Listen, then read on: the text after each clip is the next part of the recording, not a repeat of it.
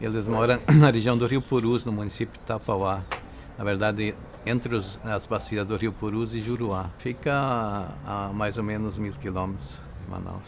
Foram contratados em, mil, em 1980 por uma equipe do CIMI, depois de terem chegado notícias de, de, de, um possível, de sofrerem um possível massacre por um grupo de sorveiros que estava se articulando para limpar uma área para exploração de sorva e que os Uruá impediam essa exploração. Eles são sobreviventes do massacre é, no início do século passado, onde a maioria do povo foi morto.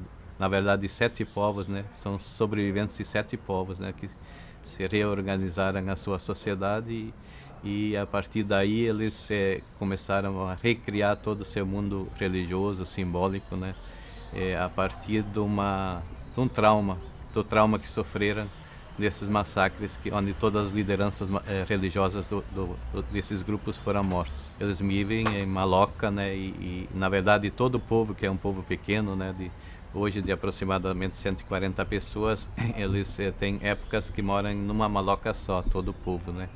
E em outras épocas do ano se espalham em duas, três malocas. O povo Zuruhá, quer dizer, é um, salvo engano, é o último povo que, que foi contatado, né? E o CIMI fez esse contato já quer dizer, só fez o contato em função da, da do risco à vida desse povo, né?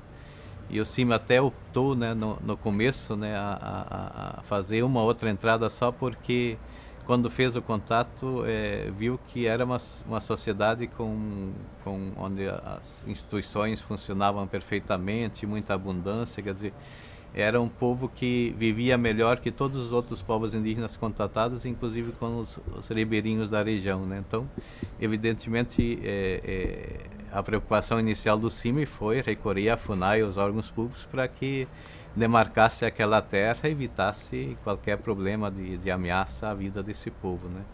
Só depois que foi, foi é, em função do risco de doenças, né, e foi é, optado uma permanência maior, porque necessitava o aprendizado da língua para comunicar os, os riscos né, sobre possíveis violências. Né.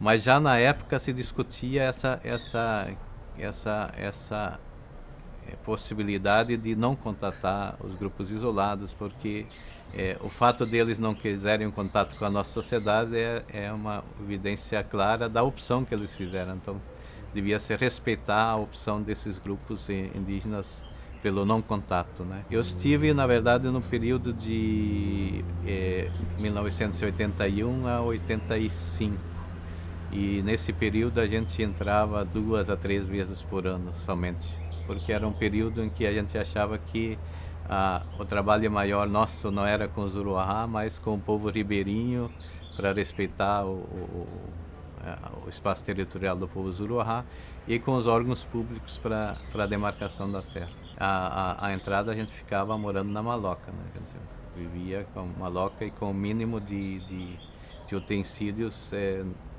é, para, para se manter dentro, inclusive para não é, é, impactar demais a cultura, a relação.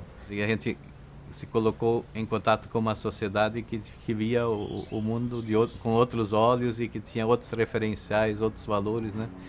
E que na verdade nos é, me fez muito pensar sobre a forma de, da nossa vida, no nosso estilo, né, da, da vida que se consome sempre mais, que tem um círculo vicioso, etc. Parece que quanto mais se tem, mais se, se busca, etc., que não tem limite. Né? No momento dos massacres, onde os, as lideranças religiosas todas foram, foram mortas, quer dizer, não tinha mais os referenciais anteriores e e nesse contexto, um, segundo conta o Zoroha, uma pessoa teria tomado veneno para suicidar, né, por desespero mesmo. E entre a vida e a morte, esse, essa pessoa teria falado que ele estava se encontrando com os antepassados, né? Ele estava passando, estava mantendo contato com os antepassados e que isso era um caminho, quer dizer, o veneno era um caminho para se encontrar com os antepassados. Isso, com o passar do tempo, foi, foi incorporado à dinâmica social do, do, do, do povo Zuruahá.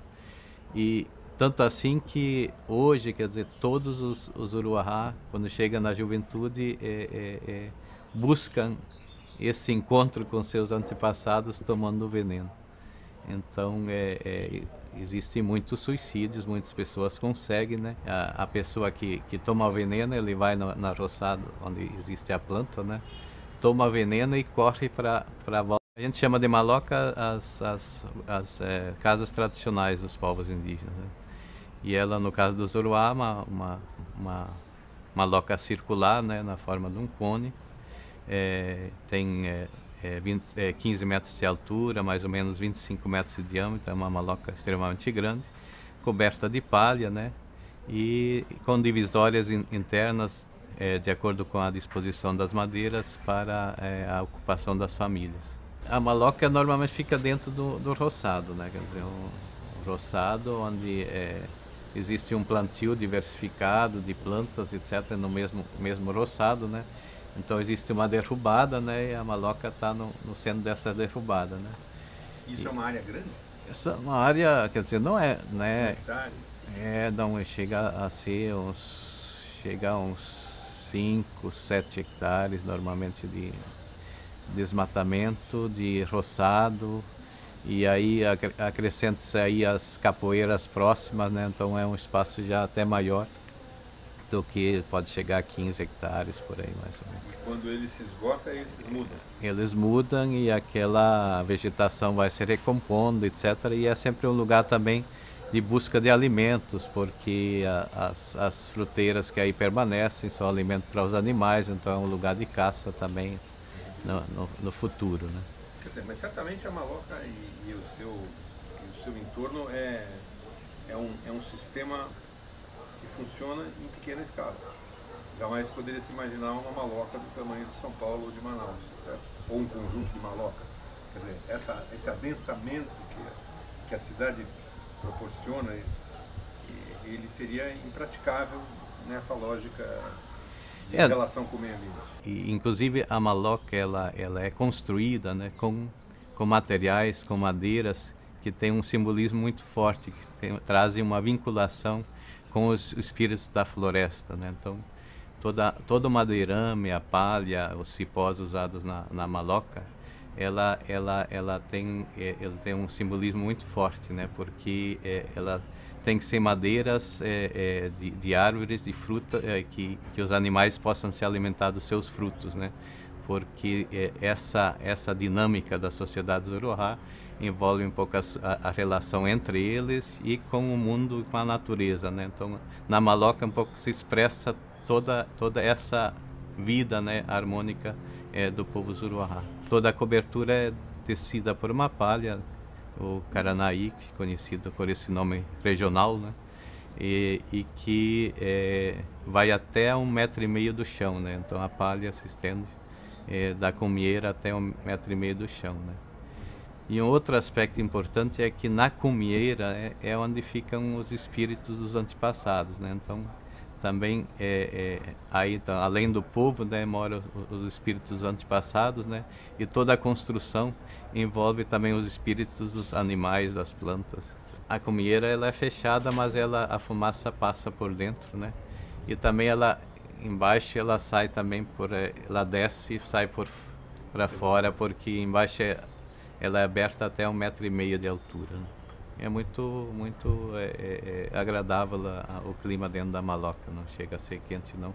E lá como é no meio da, da floresta, as noites acabam sendo até frias, né? Então, às vezes é importante ter um foguinho do lado da rede, né, para se aquecer. É, no Zuruá, a, a, liderança política é muito diluída, quer dizer, é? No, no, caso, é, é, é todos os jovens começam a sua maloca, né? Que ele consegue terminar e ter uma maloca que abriga todo mundo, né? Acaba exercendo uma, uma liderança enquanto o povo vive naquela maloca, né? Mas é, essa decisão é mais sobre a, a, o tamanho e a, e a, e a qualidade da, da maloca para abrigar o grupo todo, né? Quer dizer, então existe, essa maloca é, é escolhida para ser habitada, né? Não tem empreiteiro, o melhor construtor é o político.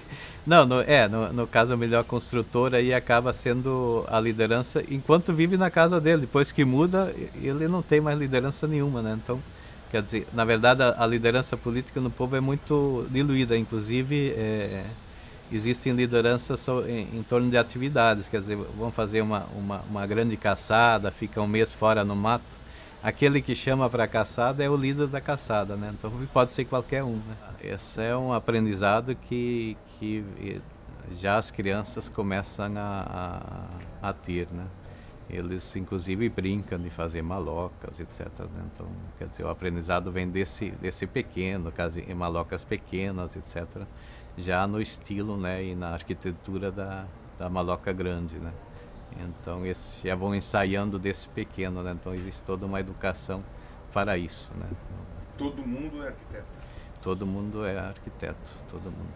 Quer dizer, todos, todos sabem fazer a maloca. Né? Mas é, fora isso, quer dizer, a, a, a, a, maloca, quer dizer, como ela é um lugar onde se fazem uma porção de coisas, né? Então ela, ela acaba sendo mais tempo, é, quer dizer, as pessoas permanecem nela mais tempo do que na nossa sociedade, né? Porque, como eu falei antes, né? É, lá se faz a, as mulheres fazem as redes, é, é, se faz as refeições, é dividido o alimento, é, é se faz a cozinha, quer dizer, se faz é, é, é, a cerâmica, se, se faz as flechas, o arco, quer dizer, o, se faz também o, o, o veneno né, para colocar na ponta das flechas. Então, são todas atividades concentradas na maloca. Então, as pessoas, de fato, ficam mais tempo é, na maloca do que na nossa sociedade. Né?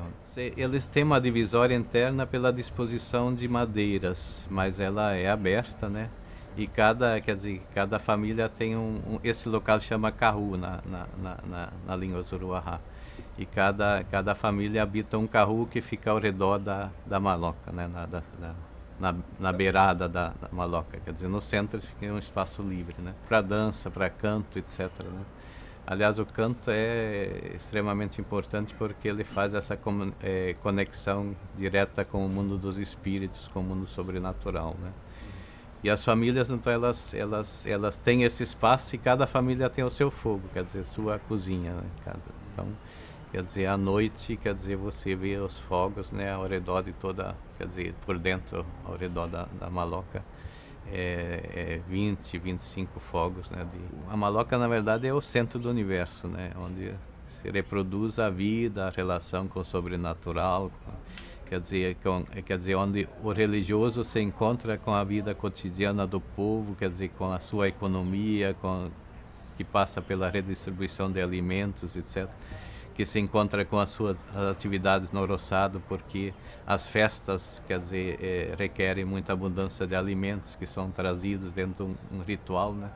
É, a caça, quer dizer, o caçador traz a caça, a caça, é, ele não traz a caça para dentro da, da maloca, outros usam, quer dizer, faz parte de um, de um simbolismo até de reconciliação do, do, do, caçador com o espírito dos animais. Né? Então existe uma, uma integração muito grande de, de, todos os aspectos da vida do povo Zuruahá na Maloca. Né? A Maloca acaba sendo o centro do universo mesmo do povo Zuruahá.